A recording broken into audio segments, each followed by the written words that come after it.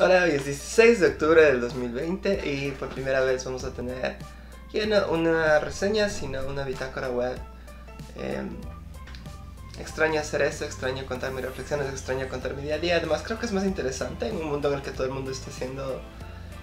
Um, transformándose en un producto, en un metaproducto para vender. Yo creo que algo que a mí siempre me resulta interesante en internet, aunque no se vuelve viral, aunque no te da estatus, aunque no te genera visitas, es eh, el poder acceder sencillamente a la mente y al corazón de otras personas, porque los, son suficientemente eh, vulnerables y honestas para ponerse eh, en línea. Entonces sí, este va a ser el primero de muchos videos en el que vamos a hacer eso ya no hace reseñas únicamente. Tal vez se haga reseñas, pero bueno. Entonces, bienvenidos al blog de Andrés Delgado.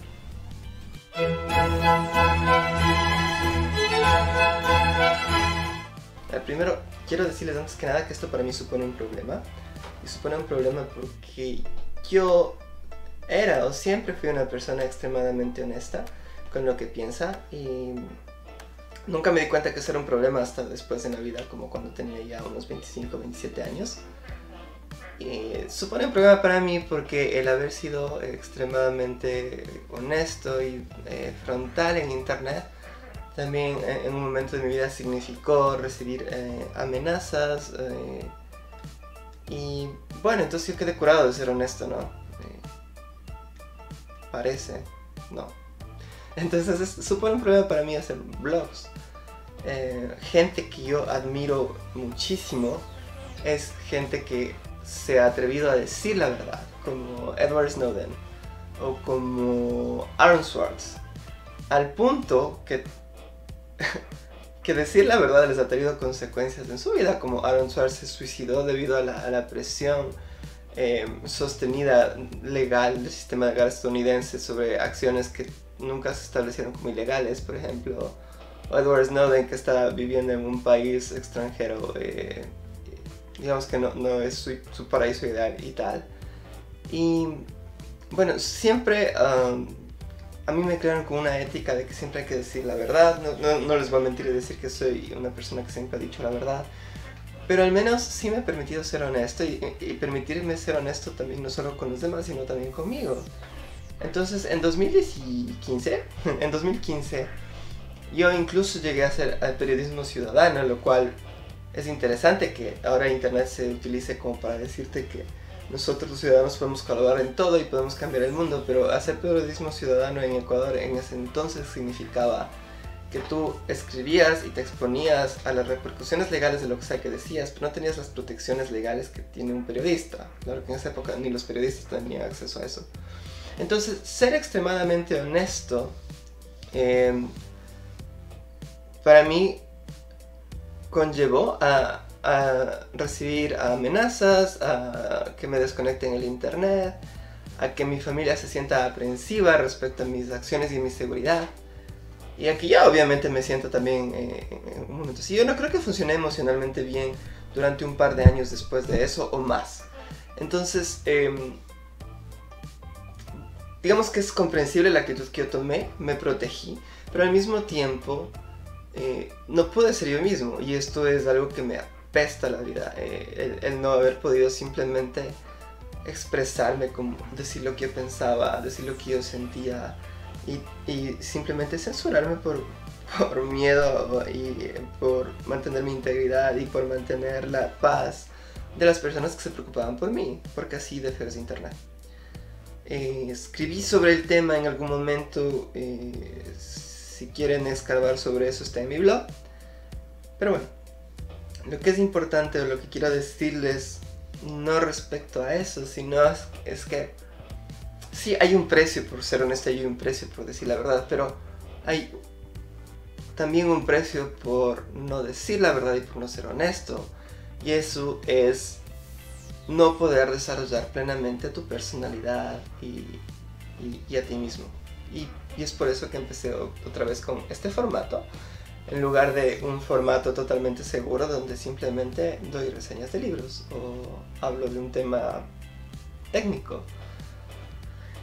sí, también te permite desarrollar y te permite otras cosas, pero ah, no quiero hacer eso. Y voy a hablarles un poquito de algo que me hizo cambiar de, opinión en estos últimos días.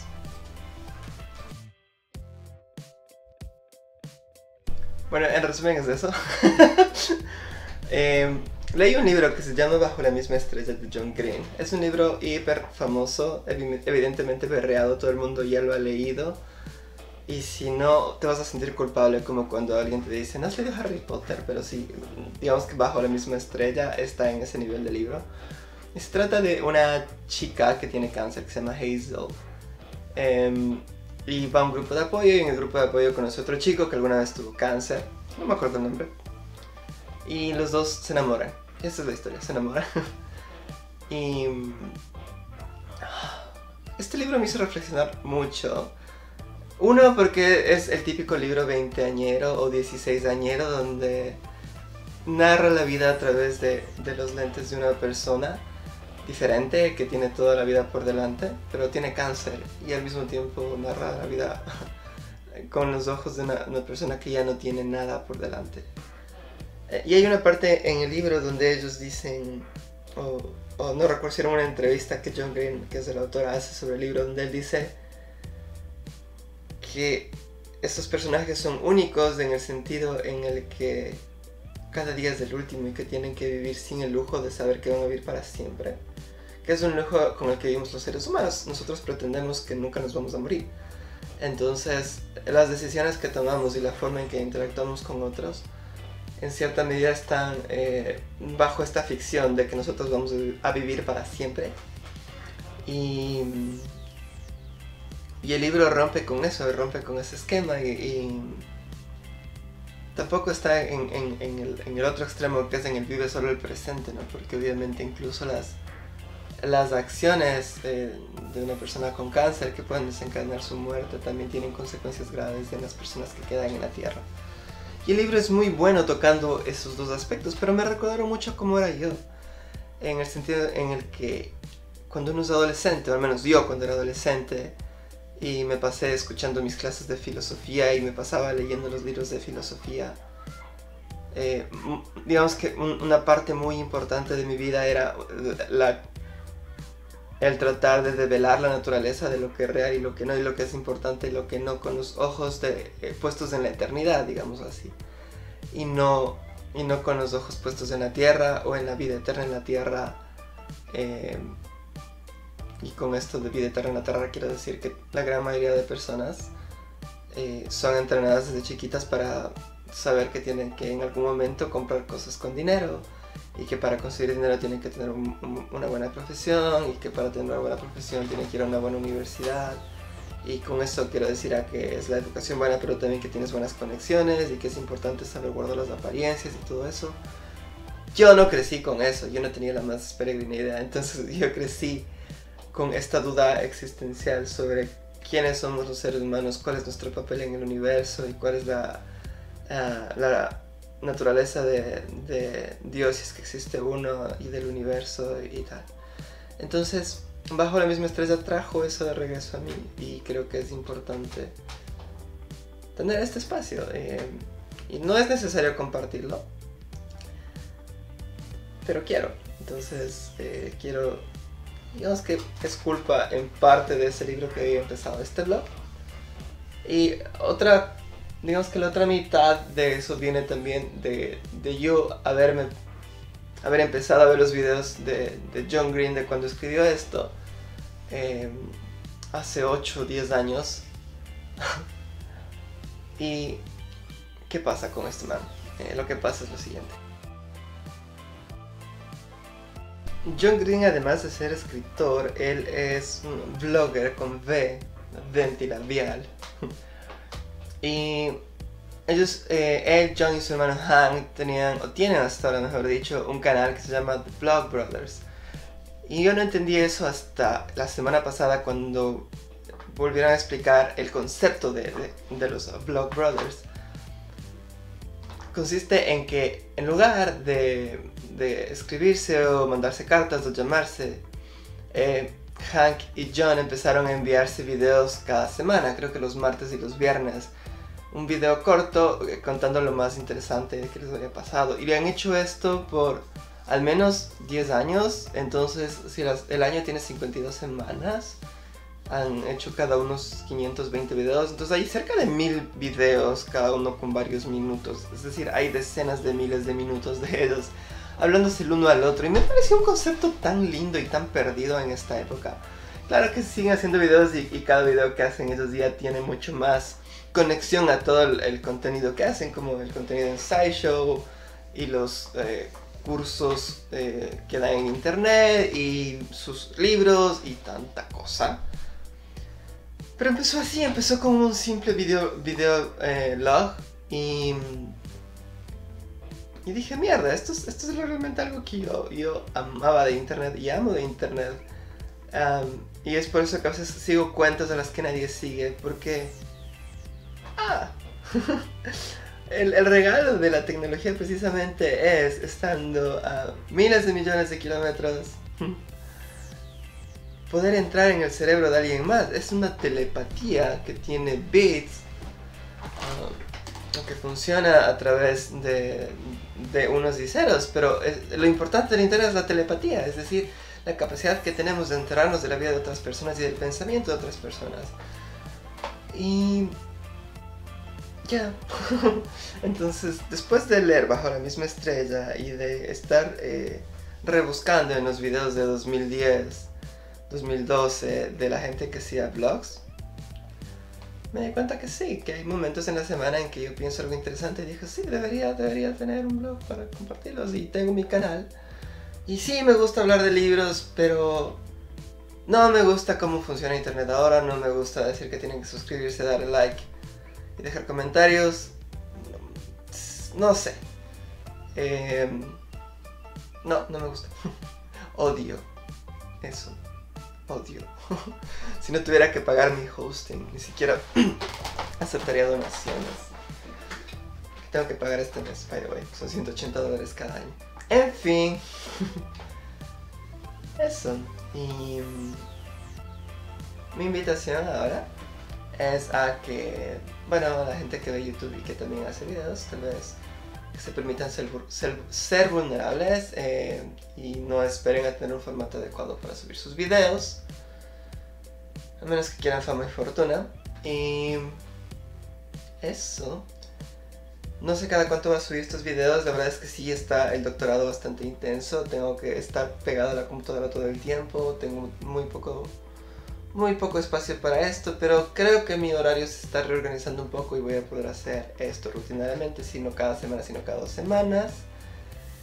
Y también quiero rendir tributo el día de hoy a, ciertas personas.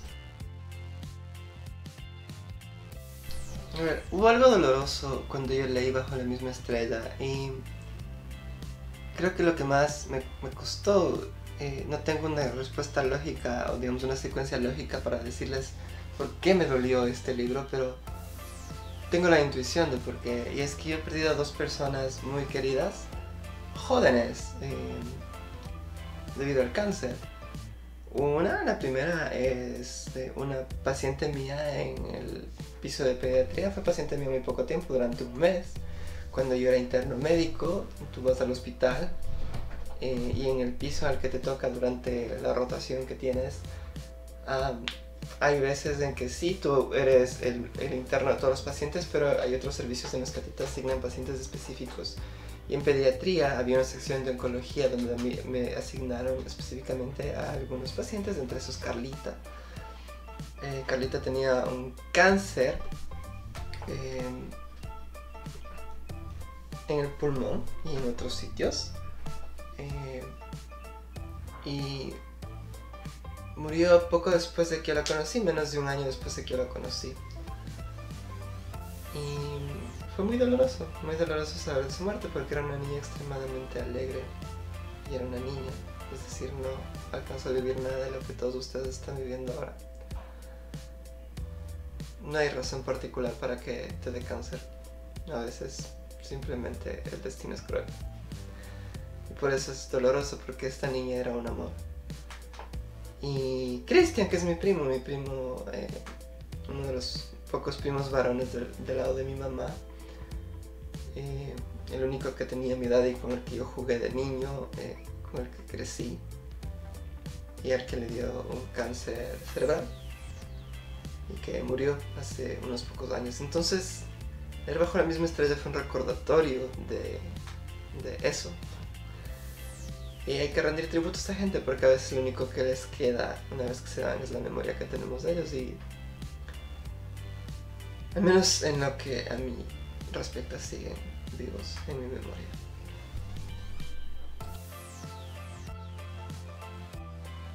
Bueno, y decidí que cada semana también les voy a dejar con algún recurso de internet que a mí me parece interesante. Eh, esta semana vamos a empezar con chess.com. Es el sitio donde yo juego ajedrez. Em, todo el tiempo improductivo de mi semana se va allá. Y si quieren jugar conmigo les voy a dejar el enlace para que me agreguen en chess.com y me escriben y ahí sí jugamos y si les gusta el ajedrez, me gusta jugar ajedrez, así que avísenme. Bueno, eso es todo por esta semana, soy Andrés Delgado y si quieres apoyarme, me puedes comprar un café, voy a dejar el enlace y si no, está perfecto la vida no es una transacción. Nos vemos la otra semana, ojalá. Chao.